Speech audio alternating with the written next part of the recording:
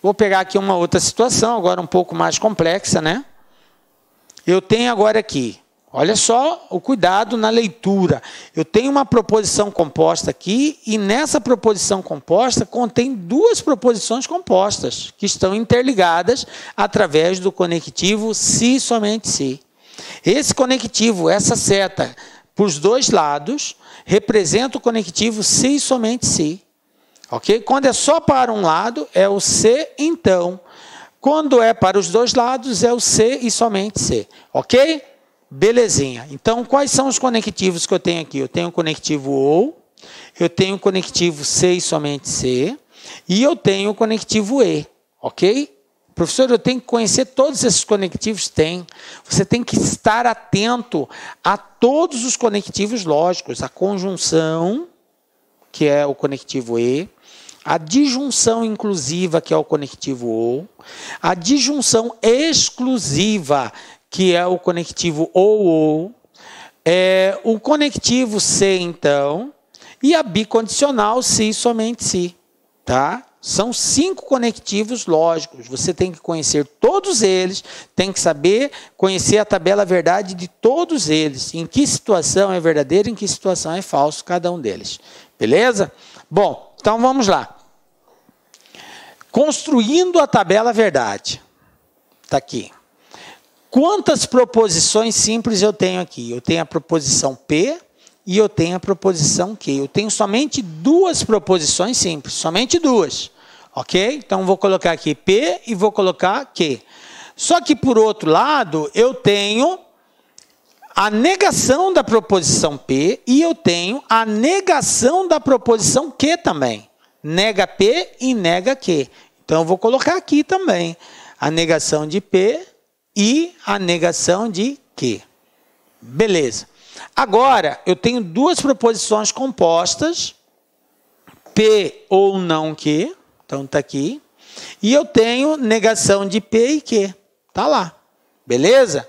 E na última coluna é o conjunto, é a relação entre essas duas através do conectivo se somente se, que eu vou colocar aqui na última coluna, está lá. Que é o resultado final, e a partir dessa análise eu vou dizer se trata-se de uma contradição ou não. Beleza? Como que eu começo? Atribuindo agora os valores lógicos para a proposição P e Q. Como eu tenho duas proposições simples, eu vou ter que fazer a combinação. Nesse caso, então, eu vou ter agora quatro linhas. Verdadeiro, verdadeiro, falso e falso. Beleza? Pode ser verdadeiro com verdadeiro, verdadeiro com falso, falso com verdadeiro e falso com falso. Fiz as combinações possíveis entre P e Q. Tranquilo até aqui? Professor, sempre vai ser assim? Sempre vai ser assim. Você vai pegar as proposições simples vai fazer as combinações. Isso aqui é você que faz. Você que atribui. Professor, eu poderia começar com falso, falso, verdadeiro, verdadeiro? A ordem aqui não importa. Você vai estabelecer do jeito que você quer. Isso aqui, tá? Agora, a partir daqui, Qualquer outra coisa vai depender do que você colocou. Aí você não vai poder inventar mais. Você vai ter que respeitar o que você atribuiu aqui. Beleza? Bom, negação da proposição P. Verdadeiro, falso, verdadeiro, falso, falso, verdadeiro, falso, verdadeiro. Beleza. Negar, alterar o valor lógico. Negação da proposição Q. Verdadeiro, falso, falso, verdadeiro, verdadeiro, falso, falso, verdadeiro.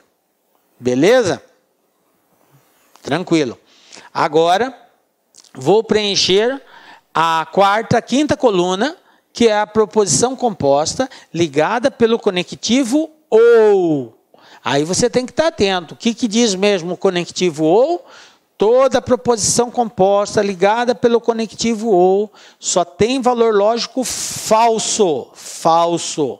Só tem valor lógico falso quando ambas as proposições simples forem falsas. Ambas forem falsas. Nos demais casos, ela será sempre verdadeira. Beleza? Então, olha só. Aqui é P e negação de que. Observem que é P ou negação de que. P está aqui, ó, é a primeira coluna. Negação de quê? Está aqui, ó, é a quarta coluna. Então eu vou ter que comparar a primeira com a quarta. Ok? A primeira com a quarta. Como ela só tem valor lógico falso quando ambas forem falsas, então eu só vou analisar isso. O que, que acontece aqui? Ó, verdadeiro e falso. Então não é ambas falsas, só uma que é falsa. Então vai ser verdadeiro. Verdadeiro e verdadeiro. Então é verdadeiro. Falso e falso. Opa, ambas são falsas, ó. Ambas falsas. Então a resposta será falsa. Falsa e verdadeira. Então, verdadeiro. Beleza. Já preenchi esta coluna. Agora eu vou preencher esta outra, que é a segunda proposição composta contida aqui. Quem é essa proposição? Negação de P e Q. Então eu vou pegar agora a terceira coluna, que é a negação de P, e vou comparar ela com quem? Com a negação de Q. Vou fazer a terceira com a quarta, oh, desculpa, a terceira com Q, com a segunda. Então eu vou pegar a negação de P, que é a terceira, e vou comparar ela com a segunda, que é Q. Ok? Negação de P e Q. O que diz o conectivo E é toda proposição que apresenta ambas, que vai ser verdadeira quando ambas as proposições forem verdadeiras. Então, se a negação de P for verdadeira e a negação de Q for, e Q for verdadeira, a resposta é verdadeira. Se não acontecer isso, ela vai ser falsa. O que, que aconteceu aqui? Ó? Falso e falso. Então, resposta falso. Falso e falso. Resposta falsa. Ó, verdadeiro e verdadeiro. Quando ambas apresentarem valores lógicos verdadeiros, então ela é verdadeira. Aqui, verdadeiro e falso. Então vai ser falso. Pronto. Preenchi a última coluna. Tranquilo? Bom, agora Vou para a última. Vou para a última. O que é essa última coluna? É uma proposição composta ligada pelo conectivo se e somente se. Agora vamos lá para a tabela verdade. Lembra o que, que diz o conectivo se e somente se, a bicondicional? Lá diz bem assim: o que é quando que quando eu tiver uma proposição composta, toda proposição composta, ligada pelo conectivo se e somente se, só terá valor lógico verdadeiro, verdadeiro, quando as proposições simples tiverem o mesmo valor lógico. Professor, professor, como assim o mesmo valor lógico?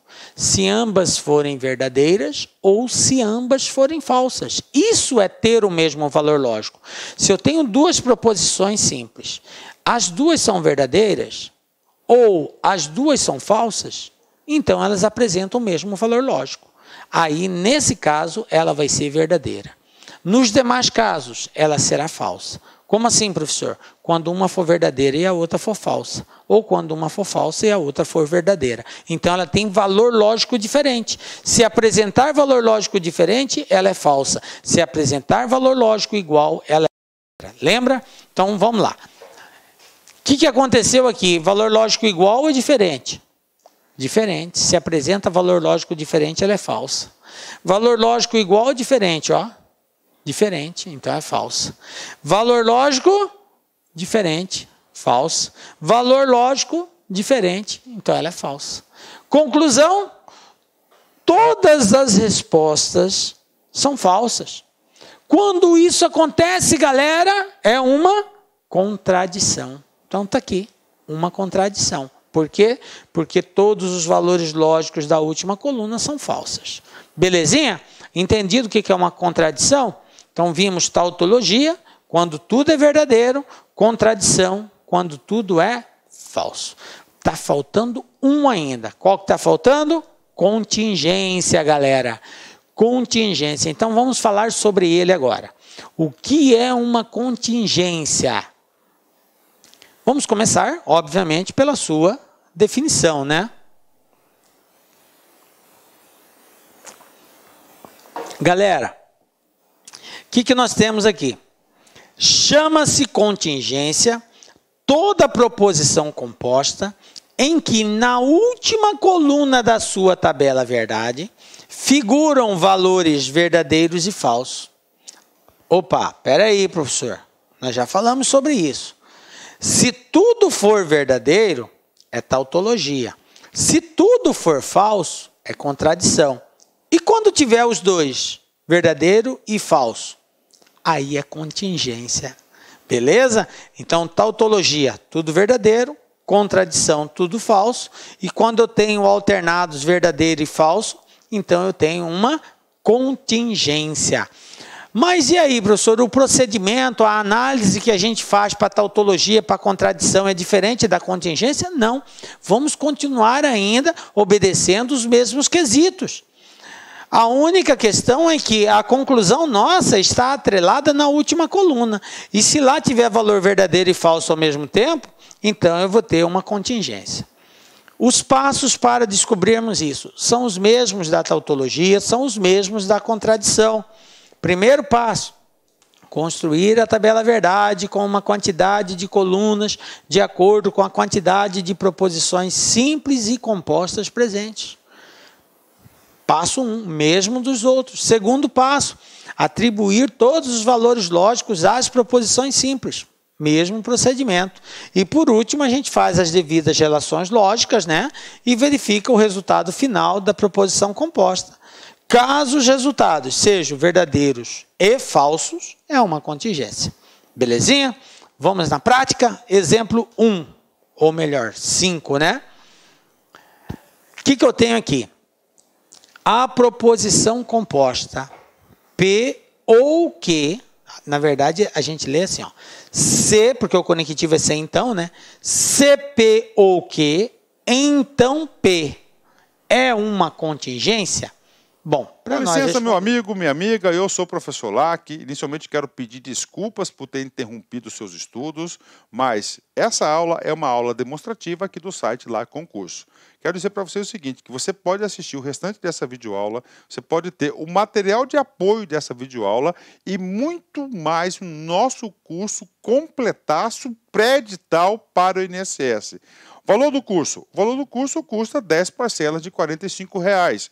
E nós temos uma promoção. Essa promoção aqui, é, até o dia 3 do 6, ela custa 10 parcelas de 30 reais. Né? Mas vamos fazer o seguinte: você que está assistindo esse vídeo, até para prestigiar, até uma forma de amenizar aí a sua a interrupção do seu vídeo, você vai falar o seguinte: olha.